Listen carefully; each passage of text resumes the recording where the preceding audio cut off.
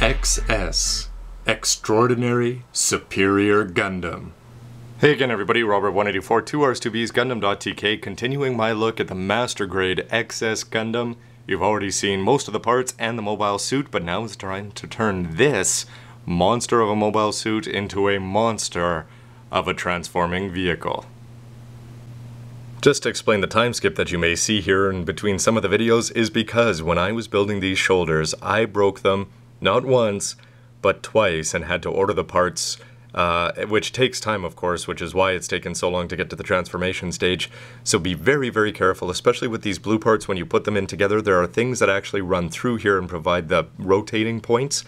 Everything about those can break. Don't put the screws in too tight. Make sure you're putting in everything just right. Follow the directions, or you're going to be waiting months before you actually get to turn this into the monster it should be. This should be mounted on the base before you do it, but it looks like you're going to take off the arms, the legs, and the smart gun before actually pulling it right off the base itself.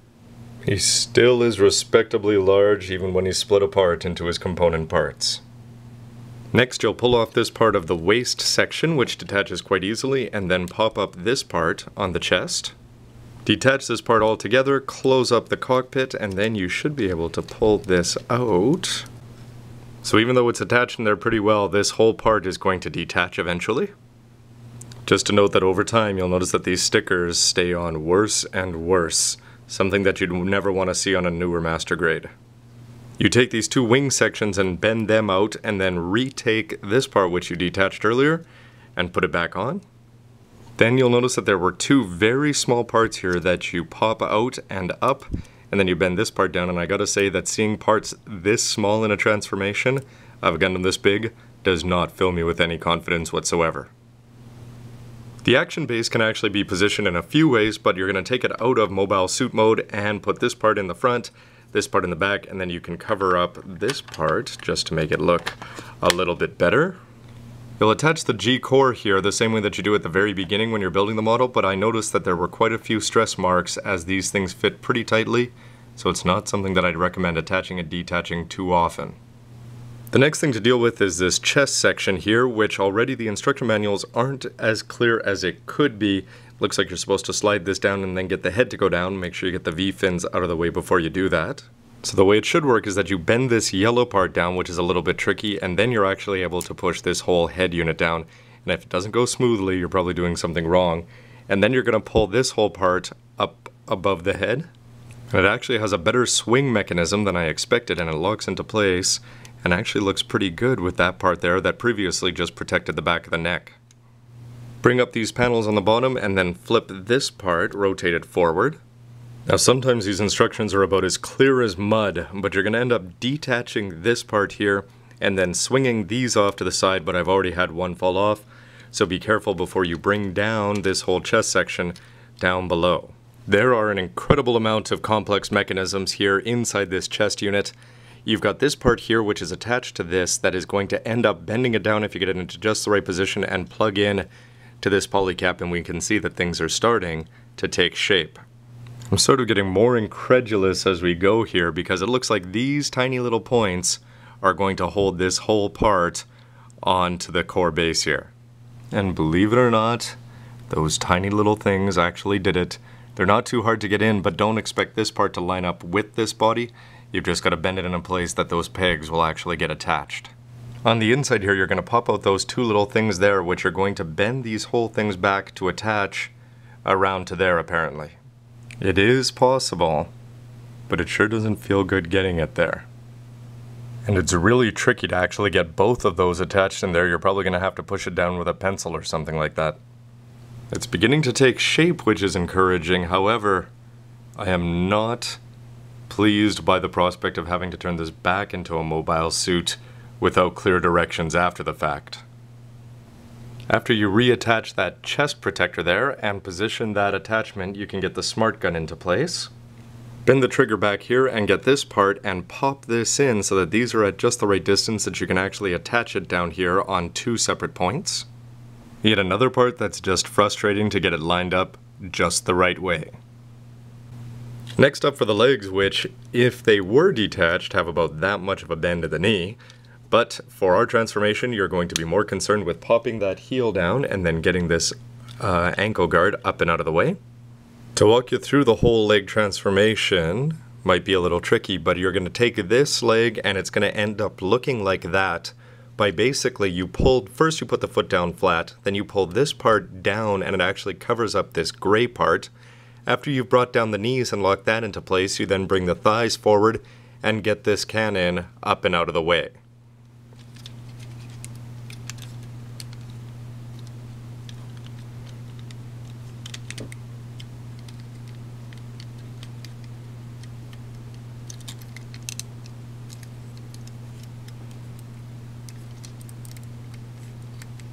After some rotating of the hips, you'll have the guns in place, the feet in place, and they're really not gray anymore, are they? But these actually don't do a bad job of hiding the fact that they are just Gundam legs.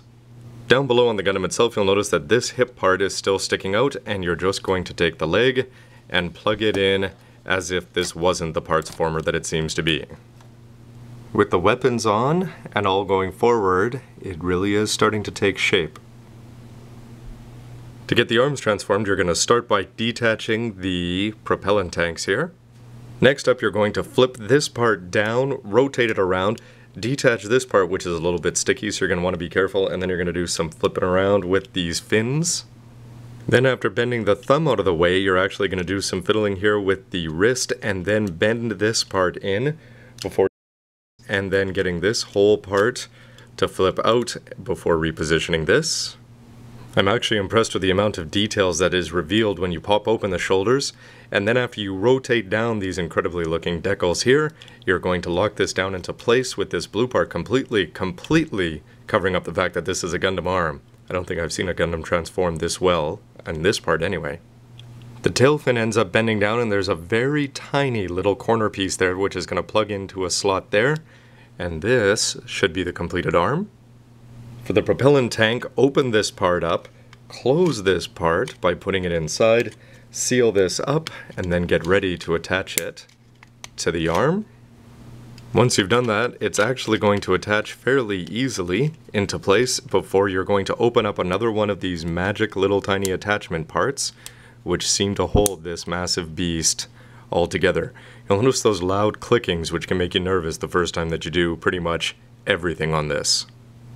I have to give them credit though that that arm, shoulder, fin, and propellant tank can fold up into something that looks completely non-armish. And it still keeps the decals out. Finally, when both of these are all put together properly, you'll notice that there are two attachment points here, one for the regular shoulders and one where that extra little part that you bent out with a very loud and scary click will attach. And the final step is to bend out these parts here and Hope that the stickers have stayed on. Now I can't tell you exactly how long this takes if you're going to do it on your own because I've got this filming in between, but it was certainly a long and a little bit frustrating transformation. But the end result is, well, what do you think? I really liked it when I put the legs on, I liked it how those boosters up there worked, and I liked how the arms went together, but it's actually, when you put it together, the whole looks like less than the sum of the parts to me. I was actually impressed with how detailed it was along the way, but now it just seems like the propellant tanks are hiding all of that impressive inner machinery that looked so good when it was first getting transformed.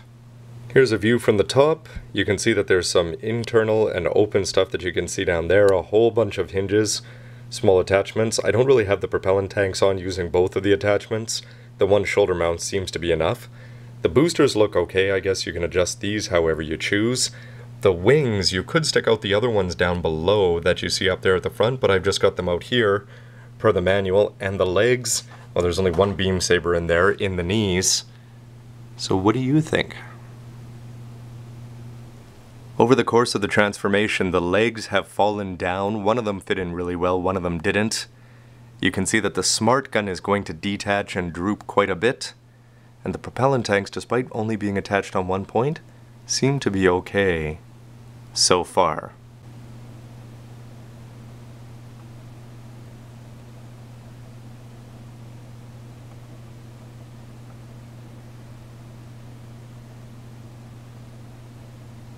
So that is the G Cruiser, which as far as I know, is the biggest transforming mobile suit, the biggest vehicle mode out of all the regular Gundams that you can have, and you can see the Gundam Sentinel book there in the background. So what do you think about that so far? Well, I can tell you what I think in my verdict, which is coming up next, where I'll talk about all the good and bad parts about the MS and this G Cruiser mode. So stay tuned for that. So thanks for watching this everybody, rrobbert184 Gundam.tk, love to hear what you think with a comment down below or on my front page. And as always, please hit like if you do and subscribe if you haven't already. Thanks for watching everybody, see you next time. There is no stunt too dangerous for Jackie Chan Gundam.